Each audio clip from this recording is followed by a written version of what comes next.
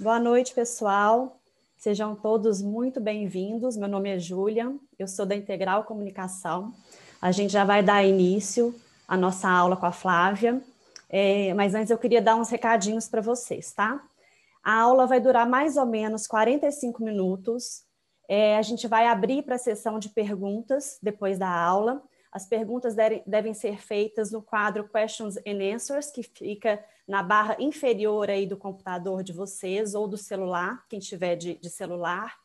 O chat a gente pode usar para trocar mensagens. Se vocês tiverem qualquer problema de acesso, de suporte, de áudio, vocês podem me chamar através do, do chat.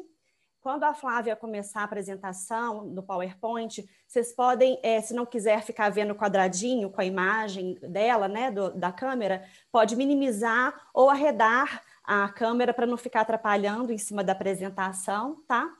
É, então é isso. Sejam todos muito bem-vindos e agora a Flávia vai começar. Flávia. Boa noite. Boa noite, Júlia. Obrigada aí pelas apresentações. O som tá bom, a imagem tá boa? Tudo certo? Então tá bom. Bom, quero agradecer a todo mundo que está nos prestigiando aí nessa noite. A gente sabe é, quão grande é a concorrência né, nesse horário, várias lives, vários webinars. Então, quero fazer um agradecimento especial para todo mundo que está aí com a gente para discutir esse assunto que eu acho que é fundamental. Né? Acho que é um assunto tão importante quanto todos os outros, né? Quanto mastite, quanto problemas de casco, quanto doenças metabólicas e todos esses outros assuntos que a gente discute, que a gente chama de assuntos porteira para dentro, né? Mas o comportamento do consumidor, que é um assunto porteira para fora, é tão importante quanto esse, né? Porque tudo que a gente faz, todos os nossos esforços, né, no sentido de produzir um leite de melhor qualidade, é, são, na verdade, esforços feitos para quem? Para esse consumidor, do qual a gente também faz parte, né? Então, a ideia de fazer essa aula, né, esse webinar, surgiu aí de várias conversas é, com pessoas do setor, e a gente sentindo muitas vezes essa dificuldade que as pessoas têm de entender como esse, como esse consumidor, né, esse consumidor de produtos lácteos, de produtos de origem animal, vamos chamar assim, né, se comporta. E aí, a gente não entendendo isso, a gente tem muita dificuldade de se comunicar com ele, né? E hoje, como todos nós somos veículos aí de comunicação, né, nas nossas redes sociais, nas coisas que a gente posta, nos vídeos que a gente faz, é muito importante que a gente entenda esse consumidor para que a gente possa ser assertivo e atrair esse consumidor para a gente, né? Ao invés de afastá-lo do nosso setor, né? Então, a ideia veio aí é, desse, desse período de vivência nosso aí com Beba Mais Leite. O Beba Mais Leite fez quatro anos, agora em junho, e a gente rodou bastante estrada aí, né? E aprendeu muita coisa ouvindo esses consumidores, né? E além disso, é um assunto que nos interessa enormemente, porque a gente, o Beba Mais Leite foi criado para falar com o consumidor, então a gente tem mergulhado aí numa jornada de estudos muito intensos, né? Eu, eu estou fazendo um MBA em consumo e lendo um monte de coisa, estudando um monte de coisa, para que a gente possa ser assertivo nessa, nessa comunicação, né? Entender esse comportamento para ser assertivo nessa comunicação com o nosso consumidor. Bom, então vamos lá, vou compartilhar aqui a minha tela para a gente iniciar a apresentação. É, uma outra coisa que eu acho que é importante falar, gente, é isso aqui não é uma aula sobre comportamento do consumidor, né? É, todo, todo estudo, toda ciência, ela é muito cheia de, de partes teóricas que a gente precisa estudar para entender o todo, né? Mas não é o objetivo nosso aqui entrar em conceitos, em teorias muito pesadas, comportamentais, né? Porque se a gente pensa no comportamento do consumidor, ele envolve psicologia, ele envolve filosofia, ele envolve economia, e não é o objetivo desse fórum, né? É a gente trazer isso, colocar isso num formato que faça sentido aí para o nosso setor. Então, esse é o objetivo dessa aula. Bom, o primeiro conceito que eu acho que é muito importante que a gente tenha é que o comportamento do consumidor é um processo. Muitas vezes a gente pensa no consumidor só no momento que ele está lá na gôndola do supermercado escolhendo um produto, né? Escolhendo um produto lácteo, escolhendo uma carne, né?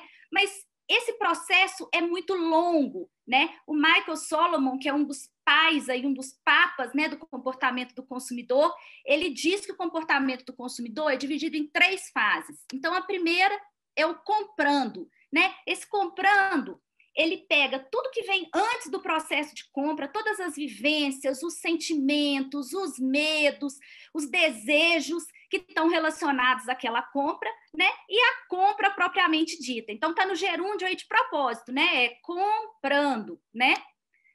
Possuindo, né? O ato de possuir alguma coisa também faz parte desse comportamento né? Você tem aquela coisa, né? Ela está com você, ela agora faz parte de você, né? E o terceiro ponto é o sendo. Isso tem se tornado cada dia mais importante. E é por isso que as pessoas têm buscado cada vez mais identidade com aquilo que elas consomem. Porque a partir do momento que elas consomem, elas passam a ser um pouco aquilo que elas estão consumindo. Então, esse eu prometo que é o único conceito assim mais teórico que eu vou apresentar. Eu acho que é importante a gente ter ele em mente para a gente entender que estamos falando de um processo e não do ato simplesmente de fazer uma compra, tá? E aí eu vou entrar com o primeiro conceito, que eu acho que é um conceito extremamente importante pelo momento que a gente está vivendo, né, por essa pandemia, aonde a gente lida o tempo todo com o desconhecido, com o imponderável, né? E aí um monte de gente travou, um monte de gente bugou, mas um monte de gente descobriu que podia se adaptar, né? Fazer uma adaptação intencional, né? Que é o contrário de você ser obrigado a fazer uma adaptação, né? Você faz aquela adaptação de caso pensado e com isso você consegue lucrar, você consegue ser bem sucedido frente àquela crise que você está enfrentando. Então, não tem como a gente começar a falar de comportamento de consumidor no momento que a gente está vivendo, né, com essa mudança de realidade, sem falar dessa palavrinha aí que já está ficando chata, né? Eu mesma já estou bem cansada de ouvir, que é o tal do novo normal, né? É mais ou menos como empoderamento feminino, aquelas palavras que viram jargão e que a gente cansa de ouvir, né? Mas até então nós só temos ela, vamos usar ela mesmo, né? E o que, será que esse normal espera, o que, que a gente pode esperar desse novo normal, né? O que, que ele tá, já está trazendo para a gente e vai continuar trazendo enquanto a pandemia durar e depois que ela passar, né? De tudo que a gente tem lido aí, o que a gente vai ter, o que a gente já tem e vai continuar tendo, é, pode ser definido aí nessas palavras, né? Pensando aqui no nosso setor, no consumo de alimentos, né? As pessoas se voltaram para casa, para as origens, né? Elas começaram a dar, mais, a dar mais valor aos rituais, ao, por exemplo, tomar o café da manhã em família, cozinhar em casa, né?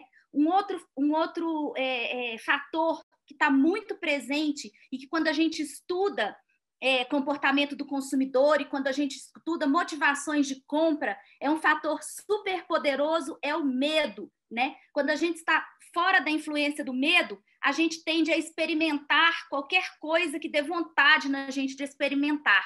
A partir do momento que você está numa situação de medo, você começa a se preocupar. Exemplo, né? É, você volta para uma alimentação que você tem certeza que pode fazer, que vai fazer bem para a sua saúde, que é saudável, ao invés de experimentar modismos, coisas da moda. Né? Então, todas essas palavras aí, elas estão muito presentes agora para a gente, né? pensando no consumidor de leite e derivados, e é a partir delas que a gente precisa fazer né, essa adaptação intencional. Bom, continuando então, para a gente entender todas essas coisas que estão acontecendo, as coisas que vão acontecer, as tendências, para a gente entender como e por que o consumidor consome determinadas coisas, a gente precisa lançar mão das pesquisas de consumo. Bom, as pesquisas de consumo, elas se dividem basicamente em três categorias. A primeira categoria, que é a mais conhecida, é chamada de questionários. Nessa categoria se incluem aquelas pesquisas que a gente recebe, por exemplo, por WhatsApp. Por favor, responda a essa pergunta. É, por exemplo, a gente está num supermercado e alguém nos aborda e nos oferece alguma coisa e pede para a gente dar uma, uma opinião a respeito daquele produto que está sendo oferecido. Ou a gente está num, num supermercado ou em outro lugar e a pessoa pede para a gente fazer um teste cego, experimentar dois alimentos e dizer qual daqueles a gente gosta mais. Então, o que, é o questionário? Ele é sempre uma pergunta feita ao consumidor. Depende para o resultado dele, o consumidor precisa responder alguma coisa, tá? É o mais barato, é o mais simples de ser feito aí dentre as, as três formas de se fazer pesquisa. A segunda forma, que a gente chama de Big Data, é, é uma, uma forma que vem sendo utilizada bastante aí, principalmente por grandes redes de comércio.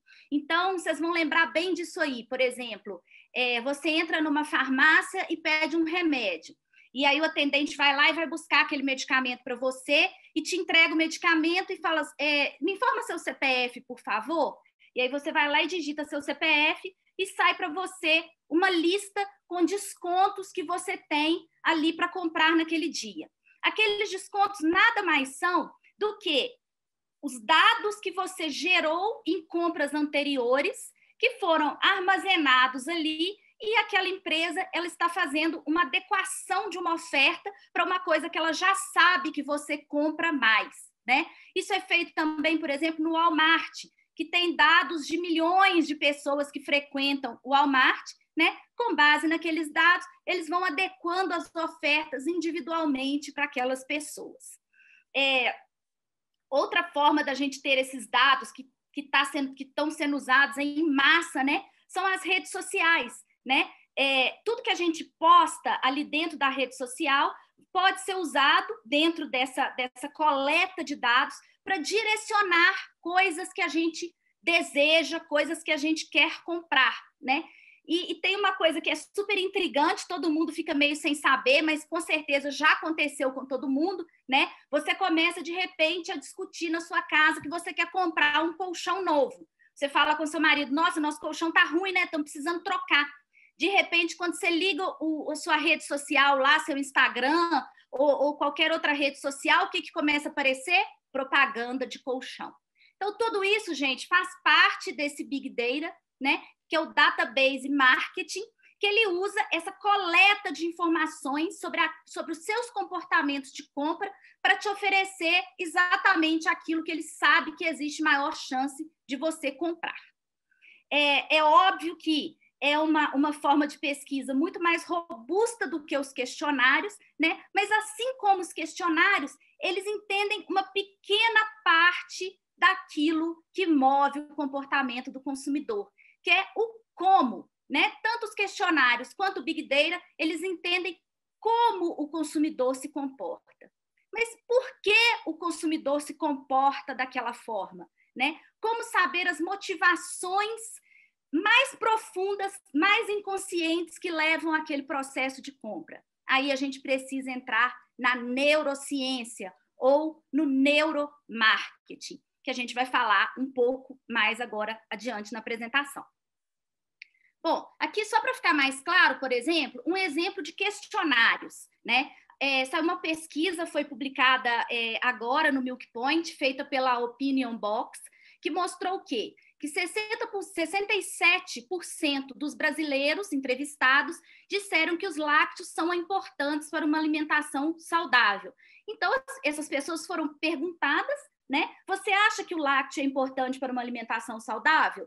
Sim ou não? 67% responderam que sim, né?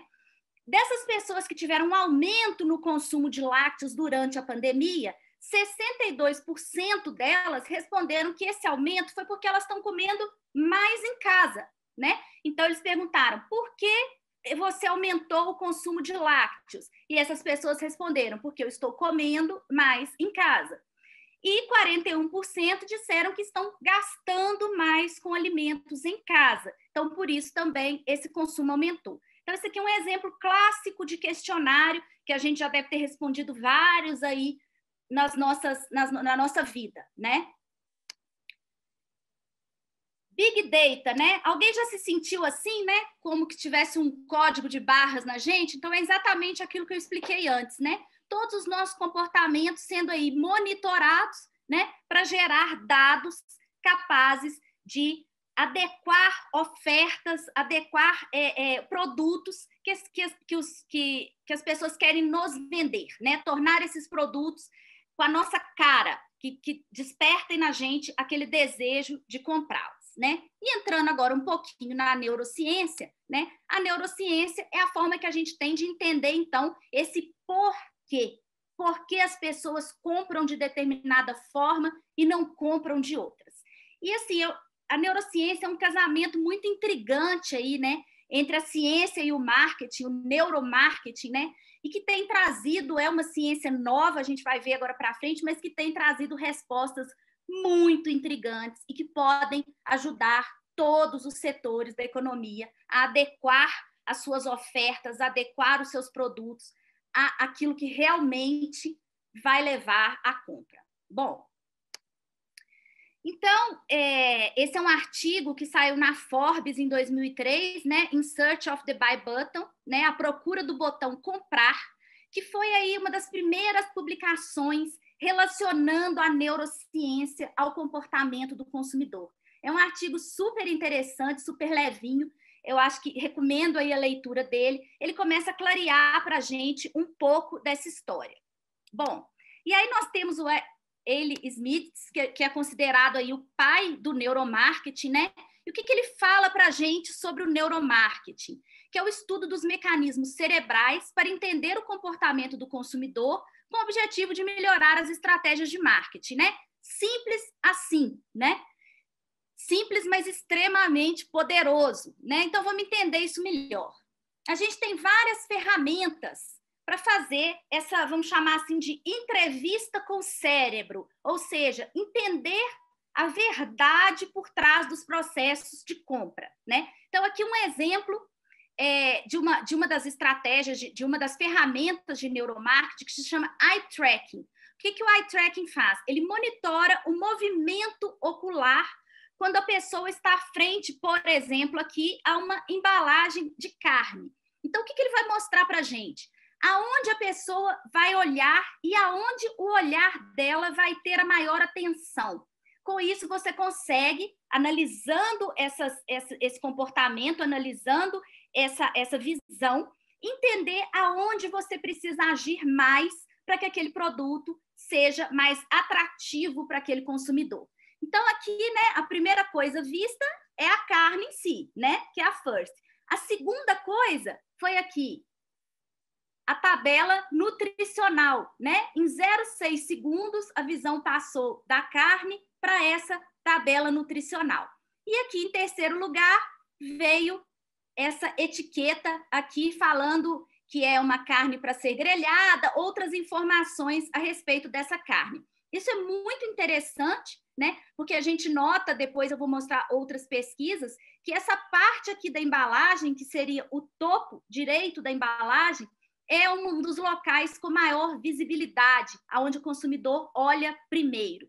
Então, eye tracking é uma dessas formas, né? A pessoa coloca um óculos e é, por exemplo, você deixa ela entrar. Vamos imaginar que a gente está fazendo uma pesquisa aí com lácteos. Então, você coloca esse óculos e a pessoa vai lá para o balcão de lácteos do supermercado e você vai ver como vai ser esse comportamento. Qual produto ela vai olhar primeiro? Por que, que ela vai gastar mais tempo naquele produto? e aí você vai traçar as melhores estratégias é, futuras. Bom, existem outros, outras formas também né, de se fazer esse estudo. Algumas são pela condutividade da pele, então, usando esse tipo de aparelho aqui, esse tipo de sensor colocado na pele, é, por meio das glândulas sudoríparas, é capaz, é, o pesquisador é capaz de detectar também o comportamento de Gostou, não gostou, sentiu repulsa, sentiu medo, né? E com isso também traçar essas estratégias. E outra é o mapeamento facial, né? Pela, pelo estudo dos músculos, do movimento dos músculos ao olhar para determinado produto, também o pesquisador consegue entender várias coisas aí relacionadas à, à visão daquele consumidor frente a um produto, frente a um anúncio. Mas sem nenhuma dúvida, né, a ferramenta mais promissora, mais avançada é essa, né? Que é a ressonância magnética do cérebro buscando essas informações aí por trás do comportamento de compra.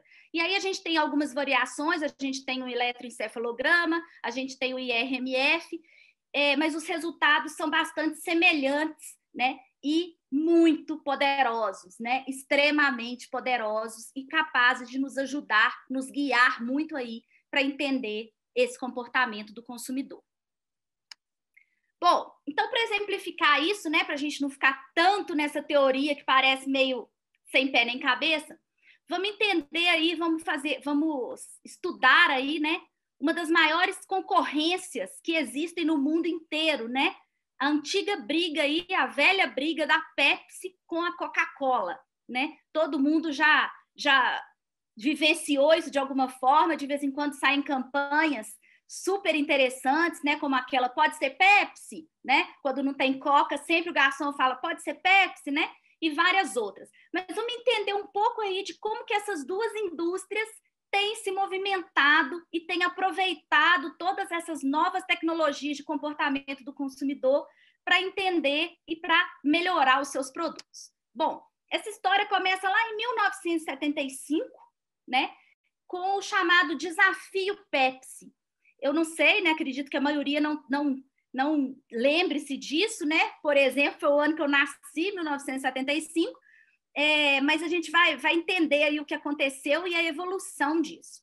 Esse desafio Pepsi nada mais foi do que um teste cego no qual as pessoas recebiam dois copos iguais, um com Pepsi, outro com Coca, e elas tinham que dizer qual dos dois elas mais gostavam. E aí, adivinha o resultado? Adivinha aí quem ganhou esse teste cego? A Pepsi, disparadamente.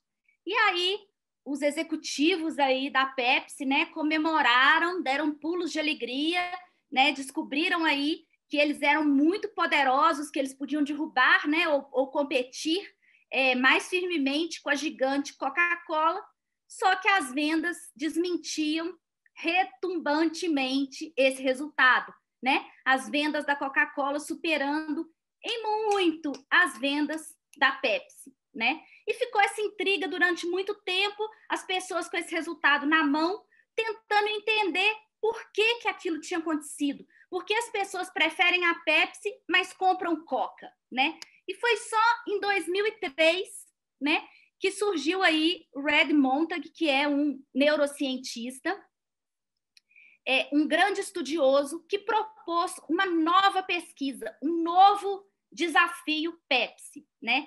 E o que que esse pesquisador fez? Bom, ele pegou um grupo grande de pessoas, um número representativo de pessoas, e a primeira coisa que ele fez com essas pessoas foi fazer um questionário, perguntar a elas: você prefere Coca ou você prefere Pepsi?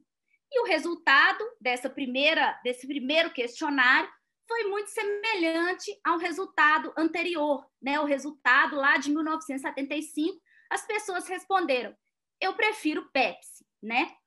E aí ele fez aí a Pepsi vencendo, né? Ele fez um, uma ressonância magnética do cérebro dessas pessoas, né?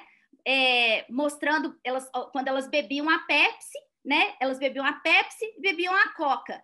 E ele fez essa ressonância magnética e o cérebro dessas pessoas respondeu que, de fato, elas gostavam mais da Pepsi. Bom, não resolveu nada o embate, né? E ele descobriu, por essas, pelo resultado dessas ressonâncias, que a área do cérebro que foi, é, é, que foi responsável por esse resultado é essa área aqui, que a gente chama de área tegmentar ventral, né? Essa área ela está relacionada ao sabor, né? Sabores que a gente gosta, eles ativam essa área do nosso cérebro. Então, o sabor, como ele está ligado a questões emocionais, né? Ele faz essa decisão de forma emocional. Então, a gente continuou tendo aí a Pepsi como preferida em, é, desses consumidores. Bom, mas aí ele resolveu fazer o seguinte: contar para as pessoas o que elas estavam bebendo. Então, mostrar para elas: ó, você, esse grupo X aqui, você agora está bebendo a Coca e você agora está bebendo a Pepsi. E o que, que vocês acham que aconteceu com esse segundo resultado? A única coisa que mudou, as pessoas sabiam o que elas estavam bebendo, né? Anteriormente era um teste cego, depois elas passaram a saber o que elas estavam bebendo. A Coca-Cola foi a grande vencedora.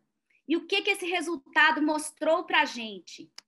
Que a partir do momento que a pessoa tinha consciência daquilo que ela estava consumindo, outra parte do cérebro era ativada, essa parte de cima aqui, que é o córtex frontal, que está relacionado ao raciocínio e ao discernimento. Na verdade, esta área também ligada a questões emocionais também foi, foi ativada durante esse novo teste.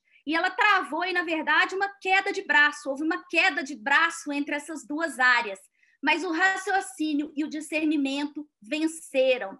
Então, ficou-se explicado. As pessoas elas podem até preferir o, o sabor da Pepsi, elas preferem o sabor da Pepsi, mas no momento da compra, na hora da verdade, elas compram a Coca-Cola. Bom, vamos ver mais, vamos entender mais aí desse comportamento. Bom, aí está o Martin Lindstrom, é, esse livro dele, Biology, ele tem uma tradução para português, que é a lógica do consumo, e é sem dúvida um dos melhores livros aí que eu já li desde que eu comecei a me interessar por essa área de marketing, de comportamento do consumidor. Eu recomendo fortemente a leitura desse livro. Ele em português a capa é bem parecida, quem tiver com a câmera ligada aí, a lógica do consumo, né? E ele ganhou aí em 2009, né? Ganhou não, foi foi foi indicado aí pela revista Time como uma das 100 pessoas mais influentes do mundo, por causa de um trabalho extremamente interessante que ele fez, que eu vou mostrar agora para vocês. Todo mundo já viu essas propagandas aí, né? Na parte de trás dos cigarros, né? Tem até uma brincadeira dos fumantes aí, quando eles vão comprar o cigarro, que eles falam: Ó, oh, pode me dar qualquer uma dessas doenças aí, eu só não quero o brocha, né? brincadeira machista, boba, mas, né, é verdade, todo mundo já deve ter escutado isso aí, né? Bom, qual que é o objetivo dessas mensagens aí nos maços de cigarro, né? Por que o Ministério da Saúde coloca essas mensagens nos maços de cigarro? Para que as pessoas olhem essas cenas, né? Você infarta, você sofre, é, no caso aí da gravidez, você prejudica né, a criança inalando a fumaça de um fumante adulto próximo dela você morre, questão de enfisema, câncer de pulmão, enfim. Todas essas mensagens têm o objetivo de fazer o quê? Reduzir o consumo de cigarro, né? Isso aí ninguém tem dúvida. Bom, o que, que o Lindstrom fez? Ele pegou um grupo grande de fumantes para fazer uma pesquisa. E a primeira coisa que ele fez, obviamente, foi o questionário. E ele perguntou para essas pessoas: é, essas essas, essas imagens, né, essas informações, esses alertas do Ministério da Saúde no verso das embalagens de cigarro, eles têm qual efeito em você? Diminuir a sua vontade de fumar? Ele, ele, ele tem esse efeito em você? Sim ou não? E a grande maioria das pessoas respondeu que sim. Bom, aí ele pegou essas pessoas e levou essas pessoas para fazer o teste aí, a ressonância magnética, num dos maiores trabalhos da história, se não o maior de ressonância magnética, voltada para comportamento do consumidor. Bom, e quando ele colocou essas pessoas lá na máquina, né, e depois que foram feitas as análises pelos neurocientistas, o que, que eles observaram? Que, na verdade, a área que era ativada quando as pessoas viam aquelas propagandas de cigarro, né, essas propagandas eram mostradas para essas pessoas durante o teste, essas pessoas ativavam uma área do cérebro que se chama núcleos accumbens. Essa área é chamado ponto do desejo. É ele que é ativado por, é, por exemplo, em caso de vício por álcool, por drogas, o próprio vício de cigarro, pessoas que têm compulsão por sexo, todas essas, essas esses vícios, vamos chamar assim, né? Eles são estimulados aí no núcleo accumbens, que é o ponto do desejo. Então, o que, que a pesquisa do, do, do, Lindstrom, do Lindstrom mostrou para a gente?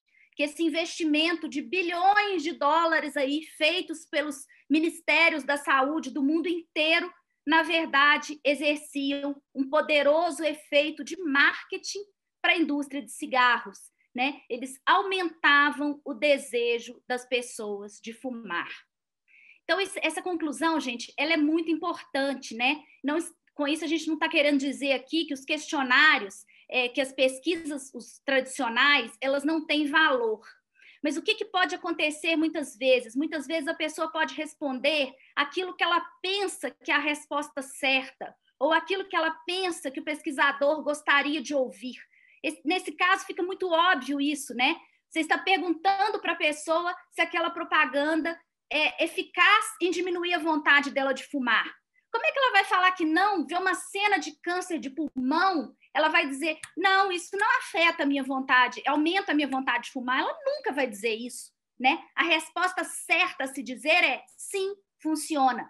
Só que na hora que a gente entra, né, vamos chamar assim, no cérebro da pessoa, que é a área mais verdadeira, né, aonde não tem como mentir, não tem como falar algo só para agradar o outro, né? A verdade é mostrada e a gente entende que as decisões de consumo, elas são muito mais baseadas numa parte inconsciente do nosso cérebro do que na parte cognitiva, na parte consciente do nosso cérebro. E vamos entender mais o impacto disso, porque que a gente tem que ter sempre isso em mente. Então, aqui só a conclusão, né?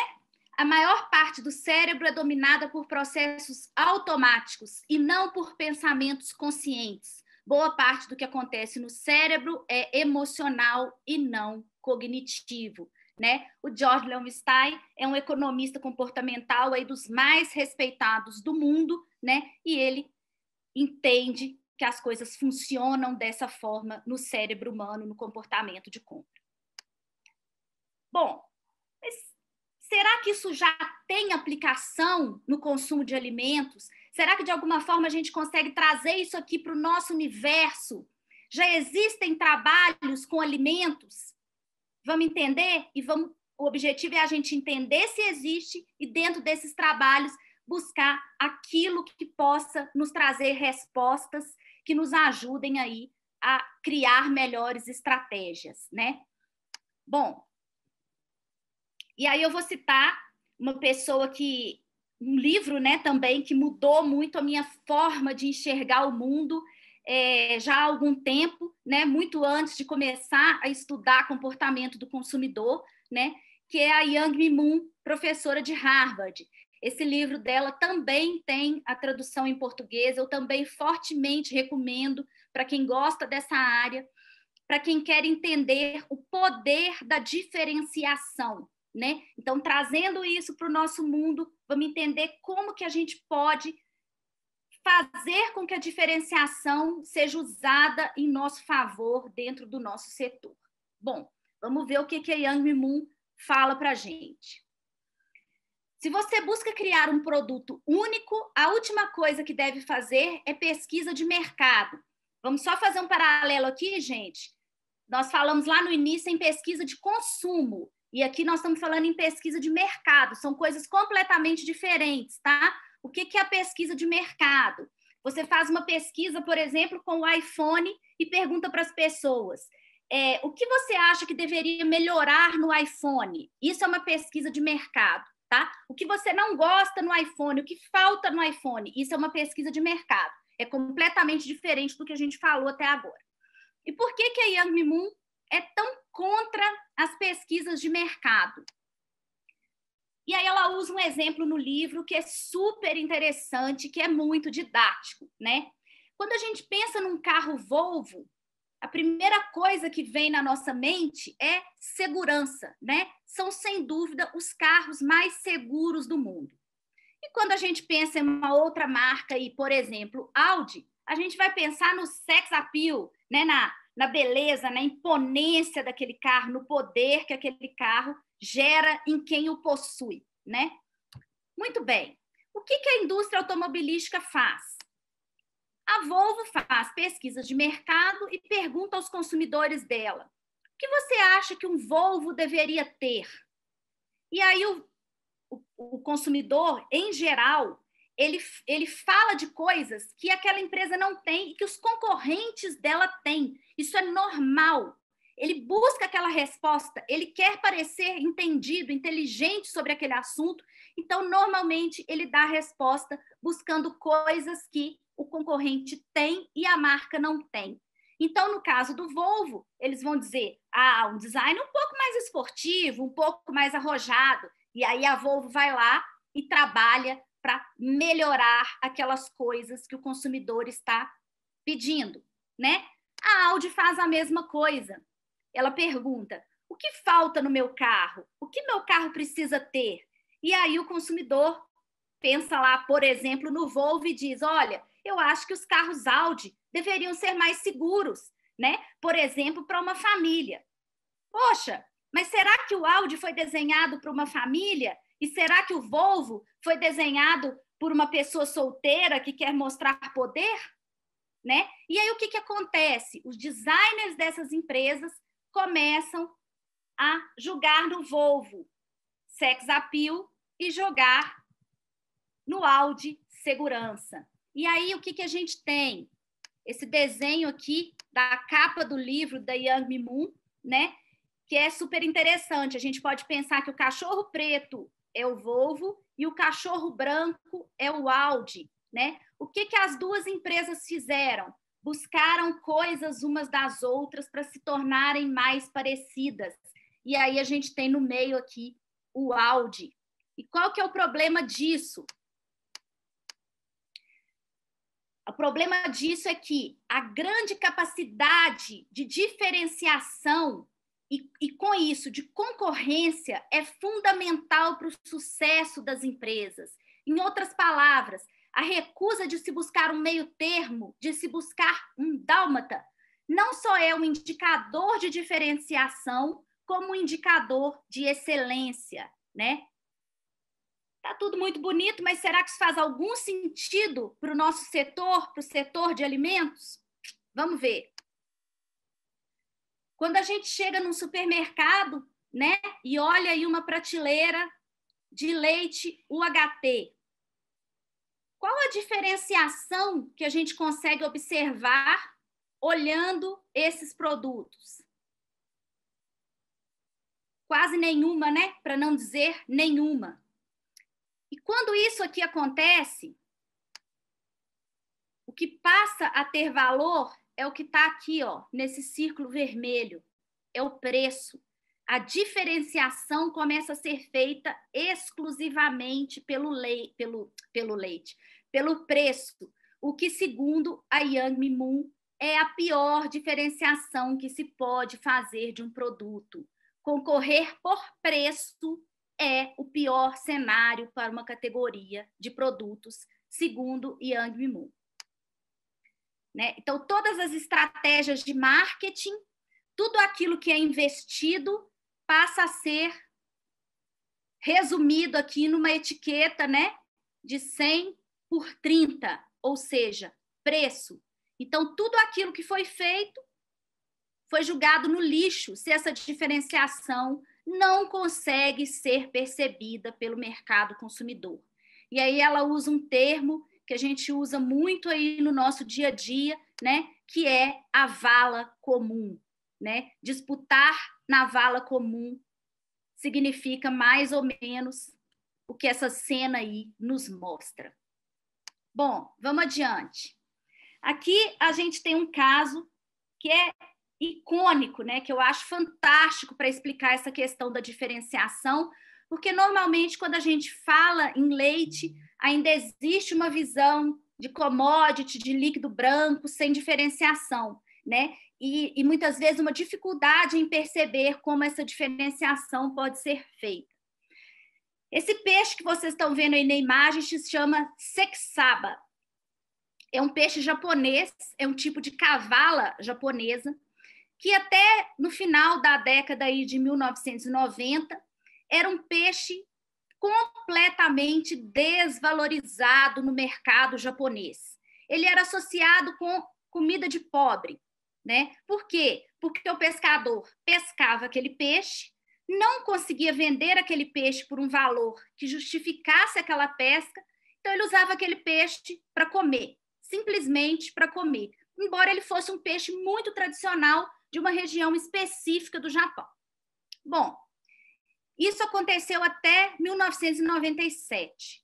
No ano de 1998, é, as pessoas daquela região, né, um grupo lá de, de, de industrial daquela região, decidiu mudar a realidade do sexaba e criaram aí uma certificação para esse peixe, um selo oficial.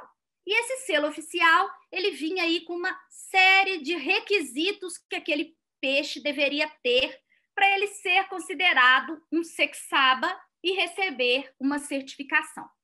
Bom, aí incluía que ele só podia ser pescado em vara, porque as redes normalmente danificam muito o peixe, que o sangue deveria ser drenado de uma forma especial para ter uma drenagem completa e limpa daquele, daquele peixe. É, e vinham várias outras é, regras de uma certificação para aquele peixe. Os peixes começaram a estampar aí esses, esses selos que vocês estão vendo na imagem. Adivinha o que aconteceu com esse peixe? Ele teve um aumento de 600% no preço de venda. Então, um produto considerado extremamente sem valor, né? Um peixe usado ali porque já pescou mesmo, que se pudesse escolher nem pescava, com uma certificação, ele criou uma marca poderosa, né? Ele criou uma origem que fez sentido para as pessoas e as pessoas começaram a valorizar absurdamente esse peixe. Então é esse o poder da diferenciação.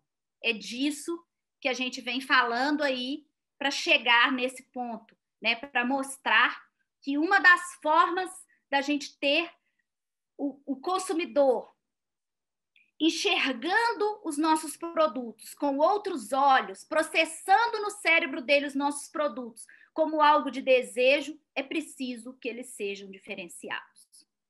Vamos para frente. Temos um exemplo aí no nosso setor, né? Produtor investe em leite A2 e vê demanda crescer em 300% em dois anos. Estamos falando aí da Agrindos, estamos, isso aí foi uma entrevista feita com o Roberto Jank, né? Também uma diferenciação, um exemplo de diferenciação bem aí do nosso setor, né? Bem do setor lácteo. Bom, então, o que, que é importante? Né? O que, que a gente precisa buscar? Criar nichos significativos de separação entre si. Né? Enquanto a gente tem uma indústria sempre copiando a outra, sempre correndo atrás de fazer as mesmas coisas, vários nichos ficam inexplorados, né? E nesses nichos de diferenciação, você pode ter uma agregação de valor e você pode ter uma, uma atratividade muito maior para esse consumidor. Bom, e aqui eu vou mostrar uma série de trabalhos também, né, trabalhos feitos de neuromarketing é, voltados aí para o nosso setor, né? Esse primeiro trabalho é uma revisão, é um, um, um calhamaço aí, né? Um trabalho de 15 páginas, muito robusto, que para quem quiser começar a entender aí como o neuromarketing é utilizado na indústria de alimentos, é uma revisão que eu super recomendo é, que, que seja lida. Aqui a gente tem um outro trabalho feito com embalagens de leite de saquinho, né, também mostrando algumas, alguns resultados que a gente vai mostrar para frente. Aqui um outro trabalho feito com aquele eye tracking que eu falei para vocês, é, para escolha de iogurtes, né, mostrando a diferença de percepção em rótulos de iogurte.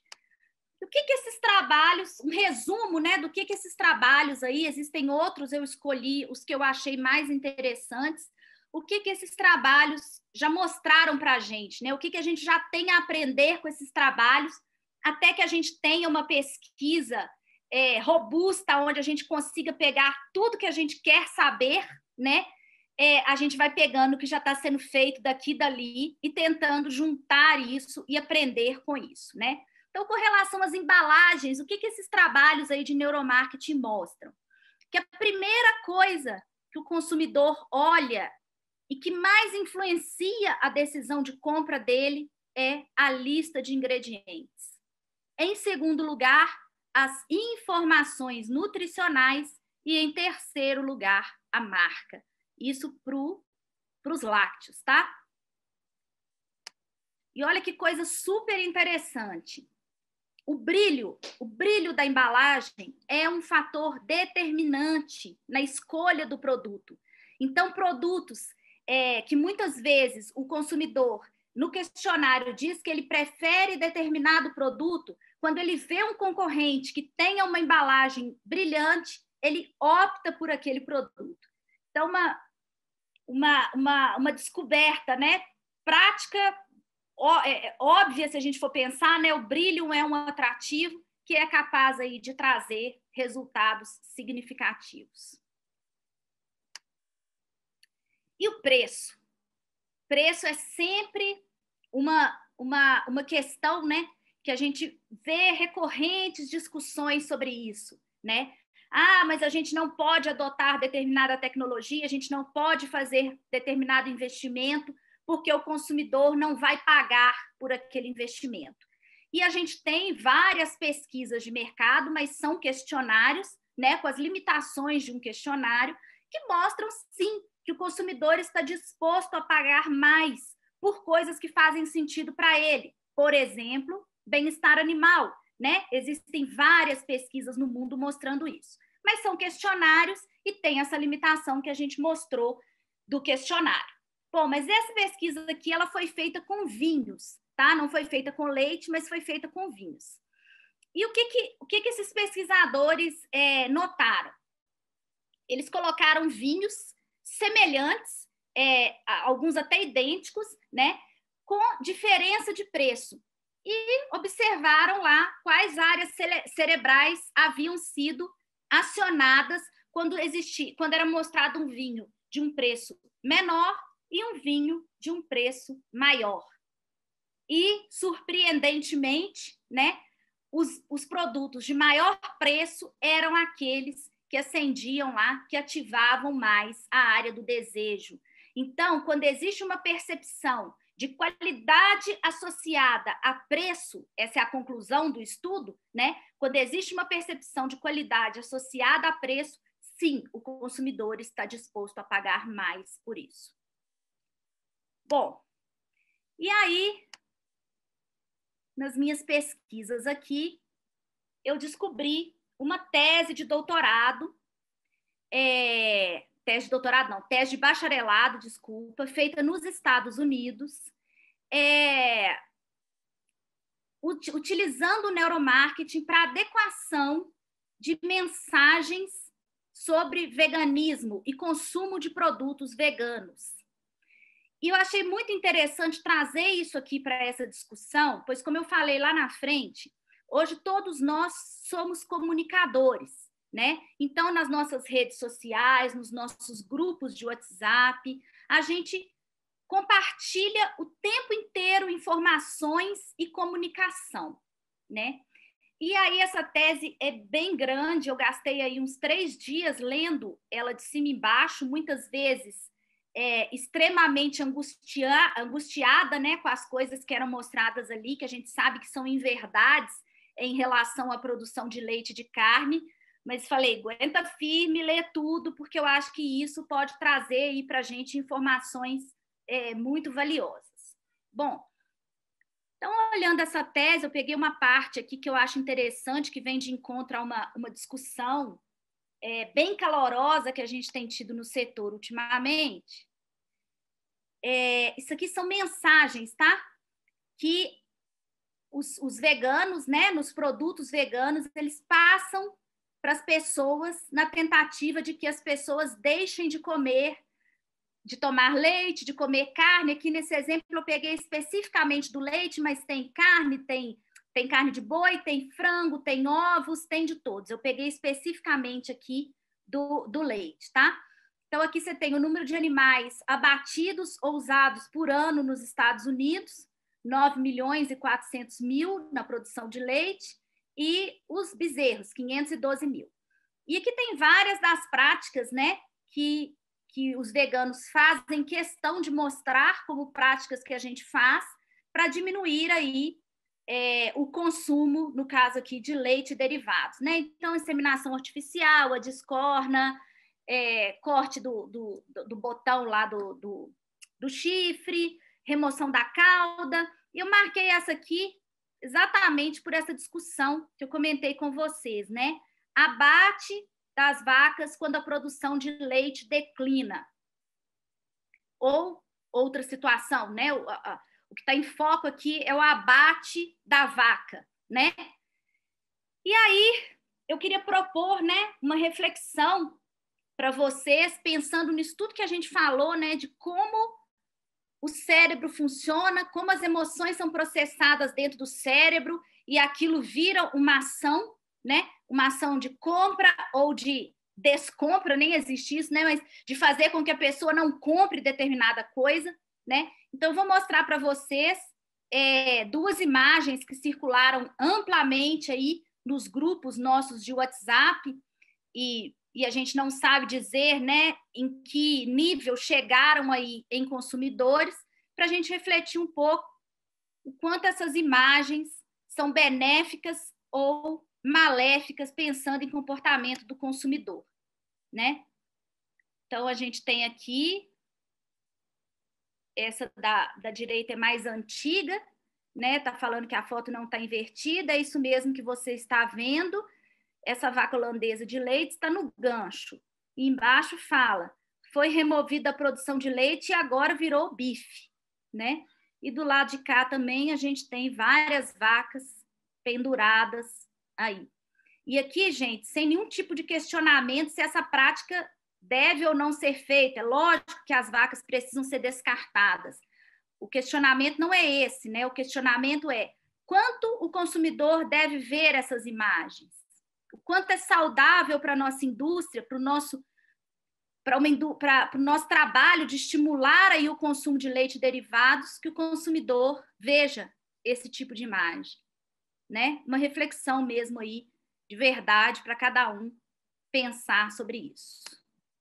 Bom, por, por hora é isso que eu tinha para falar. Eu acho que o assunto é muito longo e me surgiu uma ideia aqui agora enquanto eu falava, da gente criar aí um fórum para a gente discutir mais a fundo é, esse, esse, esse, assunto que está, né? De cada exemplo que eu dei aí para vocês durante a apresentação, tem mais uns 10 que eu deixei de dar. E fiquei pensando aí de, de repente, a gente criar um grupo de Telegram para a gente ter essa, esse espaço né, para apresentar é, essas, essas, esses conceitos, né, trazer esses conceitos que a gente tem estudado tanto aí é, e vamos continuar estudando ainda mais. Então, depois a Júlia operacionaliza aí como é que a gente pode fazer isso, né? E imagino, né, que existam aí muitas perguntas, né? Vamos tentar aí responder pelo menos algumas delas, né? O que a gente não conseguir responder, depois a gente vê uma forma de, de entrar em contato para a gente responder. Então, eu vou, vou abrir aqui meu, minhas perguntas.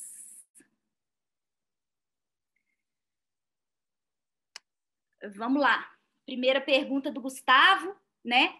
Como que a gente pode utilizar todo esse conhecimento para nossos produtos e serviços, né? Eu já dei algumas pistas aí, né, Gustavo? É, o que, que eu vejo no mercado o, de leite, né? E a gente pode pensar em outros mercados também, mercado de animal, enfim, mas vamos falar aí sobre o mercado de leite, né? É, o que, que a gente tem visto, né? O que, que esse novo normal trouxe para a gente, né? Uma valorização grande da origem, das coisas saudáveis, né? E, e uma preocupação grande com questões relacionadas ao bem-estar animal, então, por exemplo, bem-estar animal pode ser uma grande diferenciação para produtos, né? É, um selo, uma certificação de bem-estar animal pode trazer, por exemplo, é, esse, essa diferenciação, pode ser uma aplicação é, bem prática disso. A gente tem os leites de origem, né? Por exemplo, trazendo aí nas embalagens as imagens de quem produz aquele leite, né? Uma outra diferenciação importante que a gente tem. É, o setor tem se movimentado bastante também com a questão do leite A2.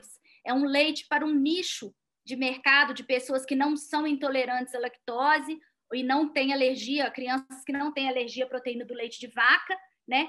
E que querem consumir, que gostam de consumir lácteos. Então, elas terem essa opção também é algo, também é uma diferenciação extremamente importante. É, e uma outra parte que eu mostrei no final é a questão relacionada às embalagens, né? A embalagem é o marketing que a gente tem ali, ó, tete a tete na hora da venda, né? Então a gente pensar nessas embalagens, pensar em como essa comunicação pode ser feita, de ter embalagens mais bonitas, a questão do brilho, acho que tudo isso são coisas aí que, que esses conhecimentos já estão mostrando para a gente aplicar isso imediatamente, né? É óbvio que é um sonho gigante a gente ter uma pesquisa mesmo de neuromarketing grande, onde a gente possa fazer as perguntas que mais nos afligem, né? Por exemplo, uma imagem de uma vaca é uma imagem que estimula a compra de leite ou desestimula? São perguntas que a gente ainda não tem resposta. Então, é muito importante que a gente consiga mesmo ter essas pesquisas mais voltadas né, para o setor em volume maior, para a gente ter essas respostas. Mas por hora a gente já tem muita coisa aí que é possível de ser feita. É, Gustavo está perguntando se esses conhecimentos já estão sendo utilizados no Brasil na indústria de leite. Sim, é, a gente deu o exemplo aí é, da, da, questão do, do, do, leite A2, né, do, do, do LET, da Agrindos, é, onde eles tiveram um aumento aí de 300% na demanda é, a partir do momento que eles começaram a, a, a vender o leite A2 certificado. Então, acredito que sim, é, mas tem muita, muita coisa para ser feita ainda, né? Tem muitos nichos para serem preenchidos. É, eu lembro de uma palestra que eu, que eu dei há uns 10 anos atrás aí, que a gente falava de, de várias oportunidades, né? Por exemplo, de você ter um leite é, ordenhado é, à noite, né, as vacas sendo ordenhadas à noite, você teria nesse leite aí mais triptofano, que vai ser convertido em serotonina, e com isso você tem uma melhor qualidade do sono. Então, você poderia criar um leite aí específico para ser tomado à noite, para melhorar a qualidade do sono. Enfim, existem muitos, muitas possibilidades, né? A gente teria que ficar aqui umas, umas cinco horas só falando disso, né? Mas acho que que o mercado está né, tá começando a enxergar isso e tem que enxergar cada vez mais para não perder aí para concorrentes como sucos e essas bebidas é, vegetais aí chamadas de, de leites, né? É, o Fábio Ferrara, aqui da Fazenda Araguaia, é, ele está perguntando como trabalhar melhor a percepção de valor na cabeça do consumidor. Então, Fábio, esse trabalho é exatamente a gente estuda tanto né, essa questão do comportamento do consumidor, é, exatamente para a gente tentar melhorar essa percepção, sabe? Então, é, todo esse trabalho da gente adequar, a gente precisa pensar em fazer um produto que atenda aos anseios do consumidor, e não ao contrário, né? A gente fazer o produto do jeito que a gente acha que, que gosta e achar um público para aquele produto. Então, assim, eu, eu, eu, penso que a gente tem muitas oportunidades, mas a gente precisa aprender a ouvir mais.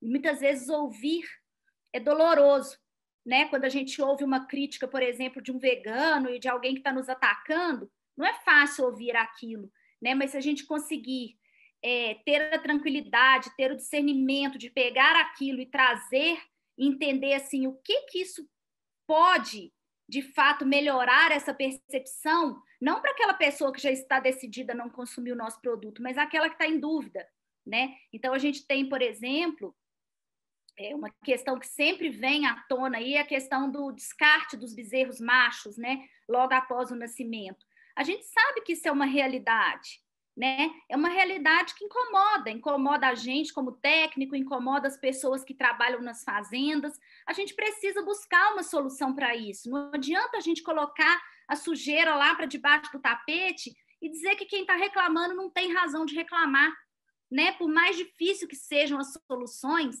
a gente precisa fazer isso. E essa percepção de valor, é, Fábio, ela só vai ser verdadeira, ela só vai entrar verdadeiramente na cabeça desse consumidor se ele perceber que, de fato, a gente está fazendo isso de forma verdadeira, sabe? Eu não vejo outra forma, não. É... Bom, a Rayane aqui está perguntando, pode repetir os, os itens que mais olham? Então, primeiro são os ingredientes, depois as informações nutricionais e depois a marca, Rayane. É, Fábio aqui está perguntando: entender que o preço do leite não está caro, mais justo. É, isso aqui, gente, é, é, é uma briga, é uma briga eterna, né? E eu acho que ela passa muito também por essa percepção de valor, né?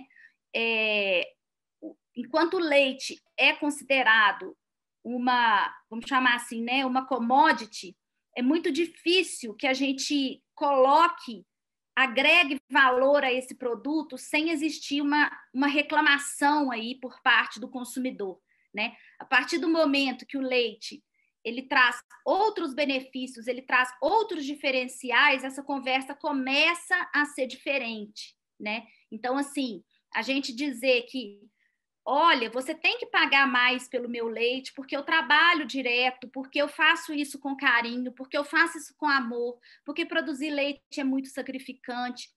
Isso tudo a gente sabe que é a mais pura verdade. Quem conhece a atividade, quem tem família no leite, sabe o quanto é sacrificante. Só que isso, para o consumidor, infelizmente, gente, pouco importa. Não é por aí que a gente vai conseguir convencer ele a pagar mais a gente precisa entregar mais, sabe? É, é, eu não vejo outro caminho, sabe, Fábio? Eu acho que, que é isso, assim, não adianta a gente dizer e a gente reclamar e a gente mostrar que está matando vaca porque o preço do leite está baixo, porque isso aí não, não toca de forma nenhuma o coração e nem o bolso do consumidor. Bom, vamos ver mais aqui, deixa eu ver a hora, vamos fazer mais uma ou duas aqui.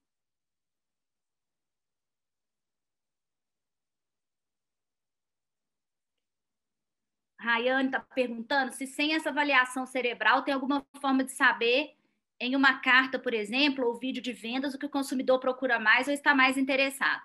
Então, Rayane, como eu expliquei, essas técnicas não são técnicas que estão disponíveis aí para a gente fazer esse tipo de pesquisa o tempo todo, né? Então, a gente precisa aproveitar trabalhos que já estão sendo feitos e adequar eles à nossa realidade. Talvez no futuro fique mais barato a gente fazer mais pesquisas desse tipo, como eu disse, pesquisas mais específicas, né? Ah, eu quero saber se uma imagem de vaca com o peito bem cheio de leite, ela estimula o desejo ou estimula a repulsa, né? Só que a gente não tem essas informações ainda. Então, assim, o que eu quis mostrar aqui com a apresentação é que a gente precisa entender como que isso funciona, quais são os mecanismos que estão por trás dessa decisão e trazer isso para o nosso mundo, até que a gente possa fazer esse tipo de pesquisa em larga escala, né? Então, é, é, eu acho que parte muito disso, sabe? Então, por exemplo, a gente já sabe essa questão da diferenciação, então vamos usar ela a nosso favor. Né? A gente já sabe as questões relacionadas, por exemplo, algumas questões relacionadas à embalagem. Vamos usar ela a nosso favor.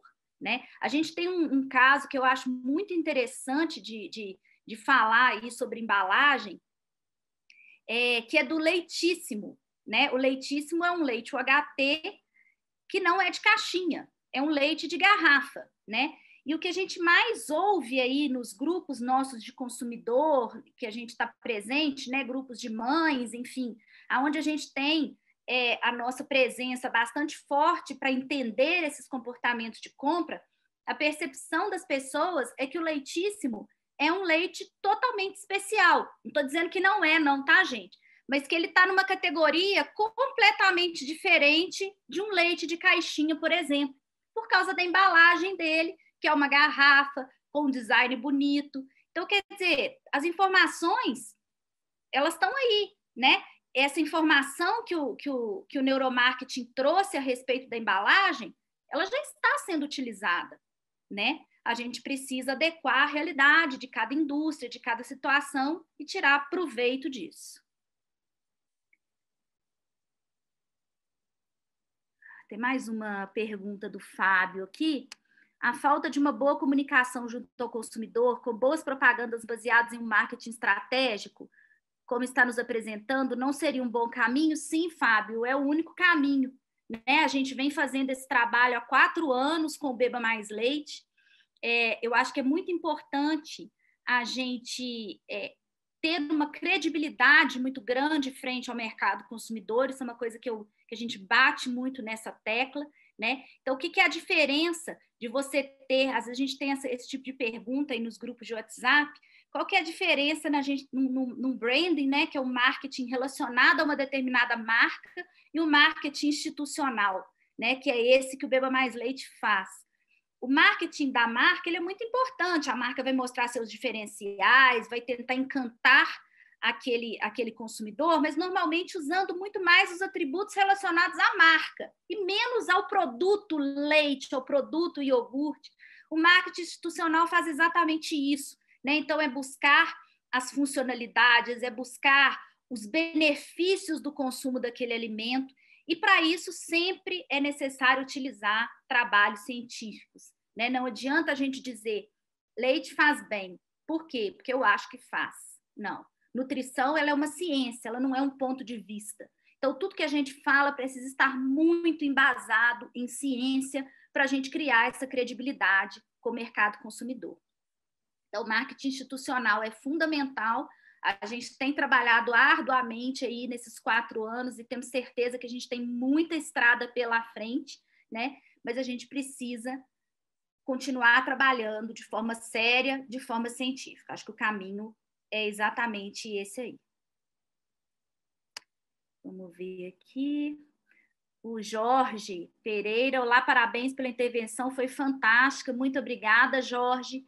Considera então que essa fase de pandemia, que não é, não, que não é a melhor altura para colocar produtos novos no mercado, Jorge, eu penso exatamente o contrário. Eu acho que é o melhor momento, sim, né? É onde as pessoas estão comprando mais coisas para consumir em casa, né? O que elas consumiam antes no, numa padaria, por exemplo, ou num restaurante, sem nem saber que marca era, que produto era, agora elas consomem em casa. Então, assim, eu acho que é o momento. Eu tenho falado isso com clientes nossos, com muitas pessoas. Na minha visão, a pandemia é o melhor momento para você lançar produtos novos, para você lançar produtos diferenciados. Eu acho que assim, quem não está fazendo está perdendo uma grande oportunidade.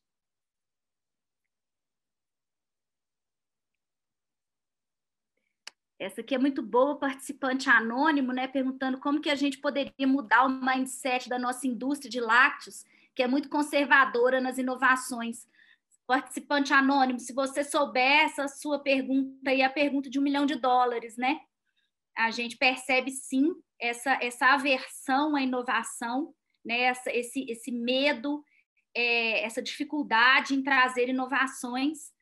É, e eu acho que isso aí muda com conhecimento, muda é, com as mudanças de gerações, eu só vejo esse caminho, mas você tem razão que é uma grande dificuldade aí, a indústria, muitas vezes, ela é bem avessa, avessa a essa, essas inovações. É, uma pergunta da Adriana aqui. Flávia, parabéns pela aula, espetacular. Assisti a um TED que dizia que dentro do processo de descomoditização dos produtos, como leite passa, que as empresas devem investir em autenticidade. Nesse sentido, o storytelling pode ser utilizado como instrumento de levar ao consumidor uma informação de, da história da empresa, de tal forma que isso cria um estímulo para o consumo. Sem margem de dúvida, né, a gente tem empresas fazendo isso, fazendo isso muito bem feito, né, mostrando é, contando a história da fazenda, contando como todo, tudo isso começou, né? A gente é óbvio que a gente precisa ter um cuidado grande, né, ao levar consumidores para enxergar essa história, né? A gente precisa ter um preparo grande em relação a isso, entender, né, o que pode ser mostrado, o que não deve ser mostrado, mas eu acho que é extremamente poderosa essa ferramenta de se contar história e de se mostrar para o consumidor como é que as coisas de fato acontecem. Né? A gente tem um exemplo fantástico, eu sempre gosto de contar, que foi de um evento que a gente fez do Beba Mais Leite com a Castrolanda. A gente levou um grupo de influenciadoras de Curitiba para conhecer a fábrica do Naturale e uma fazenda, a Arme, lá na Castrolanda, e foi uma coisa assim fantástica. É, gerou um marketing positivo gigante para o setor. Elas as influências falando que muitas delas eram a primeira vez que pisavam numa fazenda leiteira e que nunca imaginavam que existia tanto carinho, tanto cuidado, tanto bem-estar e na indústria também, tanta tecnologia, tanto, né, tanto, tanto cuidado, tanta higiene, enfim. É, essas experiências são muito bacanas e o storytelling, sem margem de dúvida, Adriana, é uma ferramenta extremamente poderosa. É, vamos fazer mais uma aqui, gente, que nosso tempo está tá bem já avançado, né? É, do Edson Barbosa. Ele coloca aqui que todos os pontos científicos são válidos na busca do entendimento, do comportamento e da atenção do consumidor, pois é ele quem paga pelo produto. Dito isso, seria muito interessante aprofundar e focar no novo consumidor. As novas gerações Y, os millennials e Z, centênios, centênios estão muito mais antenadas e digitais. Qual a sua opinião sobre isso? A cadeia do leite não está um tanto antiquada em sua comunicação com os novos, novos consumidores? Excelente pergunta, Edson. Edson sempre faz colocações aí muito boas, né? Eu estou estudando isso a fundo. Deixa eu até ver se eu acho o trabalho aqui que eu já te mostro, que eu acho que você vai gostar de ler esse trabalho também. Não sei se vocês vão conseguir ver aqui mas eu deixo depois a, a referência, né? Que é Interactive Food and Beverage Marketing, né? Então, a, a o marketing né, dos alimentos interativos e bebidas é, com foco em adolescentes da idade digital, né? Eu acho que sua colocação é, é muito perfeita, né? É, a gente precisa sim aprender a se comunicar com esse consumidor e essas ferramentas, né, é, a neurociência, eu acho que vão nos ajudar demais nisso, porque é, são gerações que a gente conhece muito pouco, né? A gente conhece muito o mindset das nossas gerações, da geração que a gente está inserido, né? Na hora que a gente pega gerações diferentes, a gente tem essa dificuldade, né? A gente tem dificuldade de entender comportamentos normais, né? comportamentos cotidianos, imagina o comportamento como consumidores né? A gente tem um monte de pista, mas eu acho que tem muita coisa aí para a gente aprender. Então, acho que uma área assim que deve ser muito estudada e que deve ser, é, deve estar tá aí absurdamente no foco das indústrias, para a gente não perder, né, esses adolescentes e essas gerações aí para os produtos concorrentes. Falei que eu ia fazer só mais uma, mas vou fazer mais uma aqui, tá? Da Ana Carolina Alvim Duque. Flávia, e pensando no consumo de crianças, há algum tipo de pesquisa que mostra o quanto a embalagem ou outra coisa que estimule o consumo delas? Ou são há pesquisas associadas ao adulto que tem o poder de compra? É, então, Ana Carolina, é, esse tipo de pesquisa é mais difícil de ser feita porque é, elas têm um tipo de intervenção, né? Você precisa colocar aparelhos, você precisa colocar um óculos, você precisa fazer leitura facial ou, ou condutividade da pele. Então, um pouco mais complicado disso ser feito com criança. E, e, a criança, normalmente, né, até que existe a partir de uma certa idade, a criança começa a dizer: Eu quero tal produto, ou ir no supermercado com o pai e com a mãe comprar né? Mas durante uma, uma, boa parte da vida aí, os pais funcionam como shoppers, né? Eles compram, mas não são eles que vão consumir aqueles produtos, eles compram os produtos para as crianças. Então a gente tem que estar muito antenado nesses, nesses pais, né? Nessas, nessas mães, a gente costuma bater muito nessa tecla da mãe como formadora dos hábitos de consumo do lar, porque ela funciona muito como shopper para essas crianças, para esses produtos consumidos é, na infância. Bom, gente, tem mais pergunta aqui, mas assim, nosso tempo estourou, a gente né, tenta respeitar o máximo do tempo aí, porque é fim de dia, todo mundo mais cansado. Mas eu queria que esse, esse, essa aula, esse webinar, fosse o primeiro de muitos, para a gente aprofundar mais nesse assunto, para a gente trazer essa, essa discussão né, para o nosso para o nosso mundo, porque, como eu disse, eu acho que ela é tão importante quanto manejo, nutrição, reprodução. Eu acho que a gente precisa estar muito ligado nisso para a gente fazer as coisas certas, para a gente não fazer coisas erradas, né? para a gente não prejudicar com a nossa comunicação, o nosso setor, e fazer o contrário, né? conseguir fazer cada um de nós um marketing positivo e, com isso, atrair cada vez mais público para o nosso setor. Então, muito obrigada, boa noite. Não sei, acho que a Júlia tem algum comunicado para fazer aí. E, de novo, agradecer de coração a quem se dedicou esse tempo aí para a gente ter essa conversa. Tá.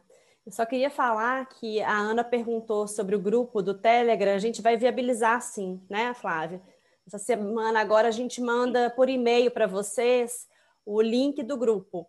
E aí a gente vai estruturar isso direitinho para a Flávia ir mandando esse material, esse conteúdo que é tão rico e tão necessário, tá? Então, essa semana vocês recebem o link com certeza. Obrigada, Júlia. Gente, boa noite então. Até a próxima. Muito obrigada. Boa noite, gente.